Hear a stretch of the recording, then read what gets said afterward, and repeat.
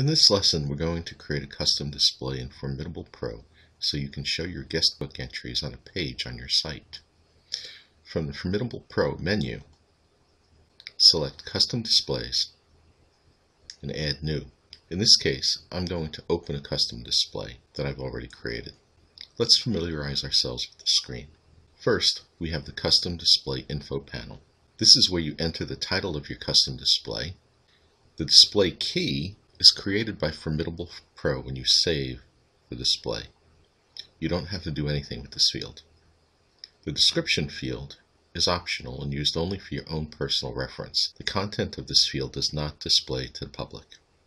In the Form and Display Type panel, you select the form from which its entries will show in this custom display.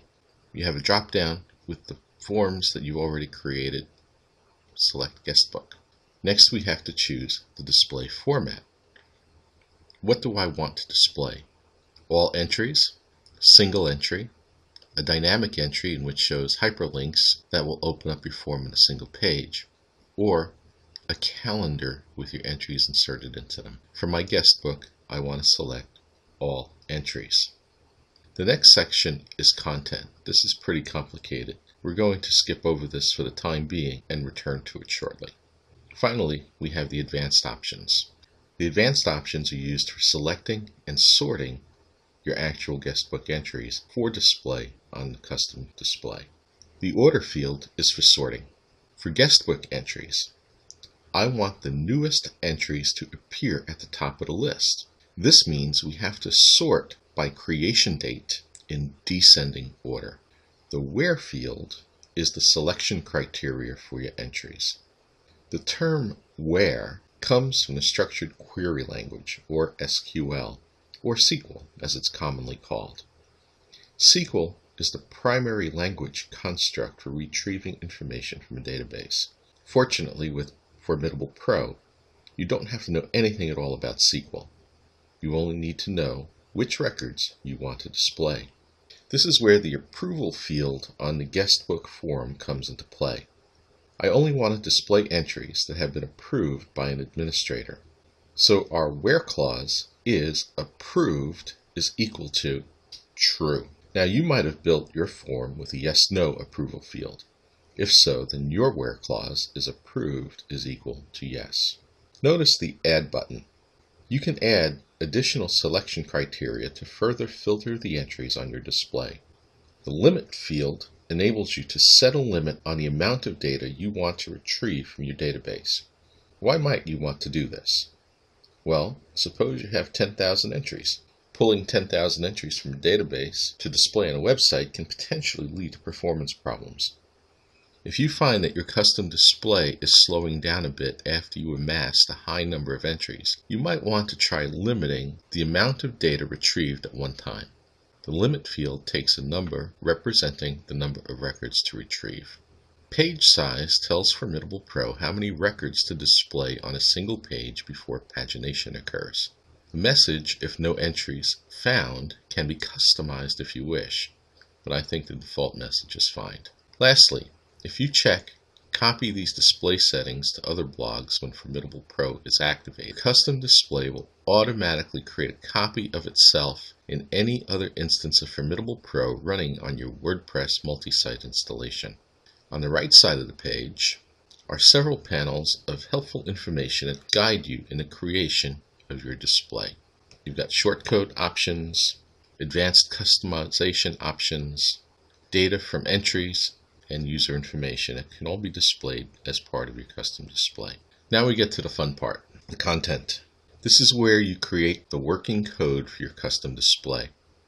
To create the working code, you must know something about writing HTML and, if you want to conditionally display certain data elements, a working knowledge of PHP is essential. What do I mean by the conditional display of data? To give you a better understanding, let's look at how I display the guestbook entries on my site. I have my guestbook form and underneath here are the entries the people have made into my site. First thing to notice is that between the form and the rectangle, the first rectangle, there is a space and each rectangle has a space between it. I've got the person's name, the creation date, the message, and the country of origin.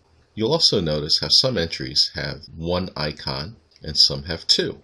The first icon for send poster and email is the email icon if the person provided me with an email address when they submitted their entry, this icon displays. If there's no email address on file, this icon is invisible. The second icon is the poster's website.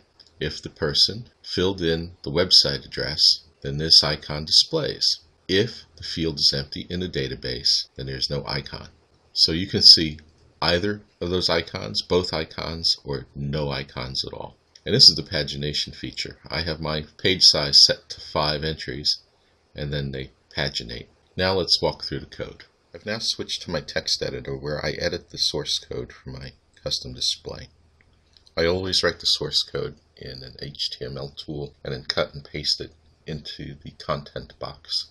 As you recall from looking at the custom display on my website, there's a space between each guestbook post and between the form and the post.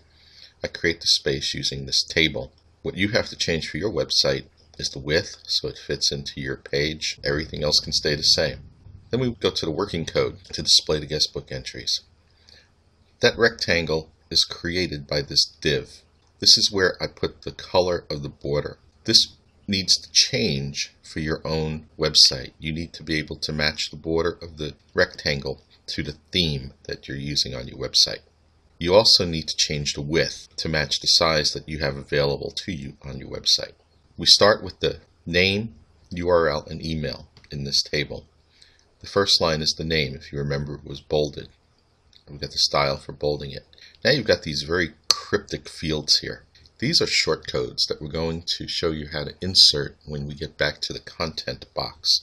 The shortcodes represent the actual field values that you have in your guestbook entries in the database.